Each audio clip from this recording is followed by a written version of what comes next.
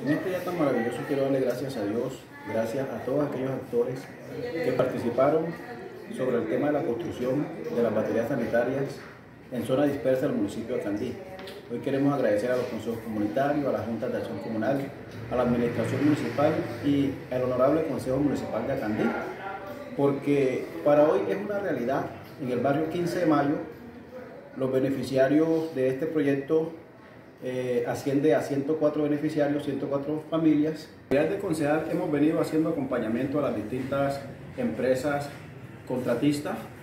Eh, de hecho, hemos estado identificando cada uno de los beneficiarios, hemos estado haciendo el acompañamiento para el tema de la, de la identificación de nomenclaturas o de, o de, códigos, porque sabemos que ellos no son de la, de la región, muchas personas pues han llegado de otros municipios y es muy importante ese acompañamiento.